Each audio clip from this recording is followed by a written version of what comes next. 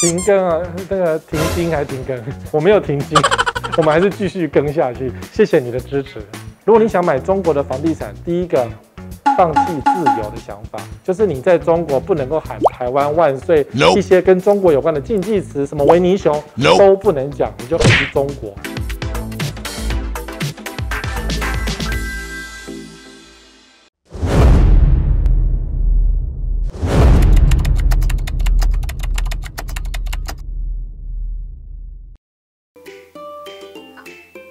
只为了你 Q 我 A 第二十三集，疫情缺工缺料，预售屋会延期交屋吗？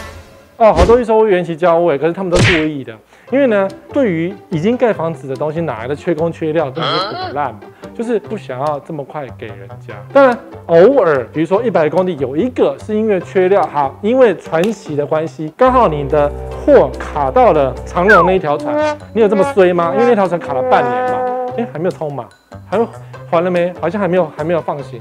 但是如果你的货刚好卡在那条船上，你当然就可能工期延后。那可是多数呢？我听到的状况是，因为投资客已经买了这么多房子，然后投资客房子卖不掉，那因为已经交屋的交屋交课房地合一二点零，要不要绑五年嘛？可是还没交屋之前都开始卖，卖掉就不用被绑五年。所以这些买了很多户的投资客在威胁建商说：“你不要给我交屋哦，你交屋的话我这里阿公哦。”然后建商就慢慢的拖，那当然所以就是在自住客，因为自住客他买房子是要来住的啊，我又不是投资，对不对？然后建商就故意慢慢施工，然后消费者就只好慢慢的等。可是呢，只要是只为必杀技，超过合约的时间，你就是告建商，拜托，建商违约你可以拿到赔偿，这是应该的，不要被建商说呃，缺工，我不是故意的。所骗，建商是骗。房地合一二点零上路，房价会跌吗？目前已经上路了，房价也还没有明显的跌，因为二点零要等投资客痛，或者是等政府罚，我在等那个重罚啊，不然现在很多投资客都想办法去找一些 paper，想要歪割，然后不要去付这个钱啊。目前还在观望当中。建议公投取消预售屋，全世界应该只有台湾有预售屋吧？嗯，全世界好像有对，是只有呃香港跟中国，中国也有预售屋的制度，可是不是制度，而是房子还没盖好还可以卖，所以中国也有预售屋。可是呢，严格来讲，你说公投这是个商品，我觉得内政部应该做一点事情，是针对预售屋来做一些管理才对。对，要不然你说公投没有用啊，中华民国政府谁管你公投啊？公投只不过是意见表达，可是它不会影响你对于法规的制定，所以公投有用吗？没有用，还不如全民都不要买预售屋，就不会预售屋。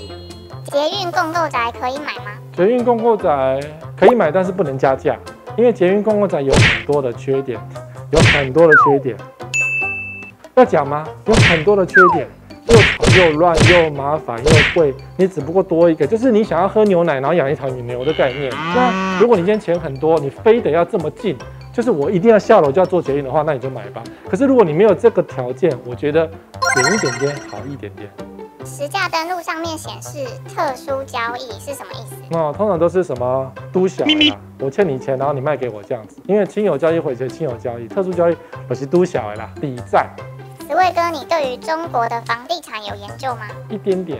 等一下你想买吗？如果你想买中国的房地产，第一个放弃自由的想法，就是你在中国不能够喊台湾万岁，一些跟中国有关的禁忌词，什么维尼熊都不能讲，你就可以去中国买房子。那其他呢，就按照中国当地的法规啦，然后最好要有认识中国当地的人。但是呢，如果你认识中国当地人，只是一个朋友或是中介，就是只是认识，也是有点危险，你还是得冒一点风险。但是如果你今天在中国，你要移民中国住，那还是买一间房子是没关系啦。但是要花时间研究，是一样的哦。在你口中，全台从化区的房子有可以买的吗？有啊，很多啊，像我个人就喜欢，我要讲我个人哦，我喜欢木呃文山区的二期从化区，喜欢的理由是里面很安静，没有一间的店面。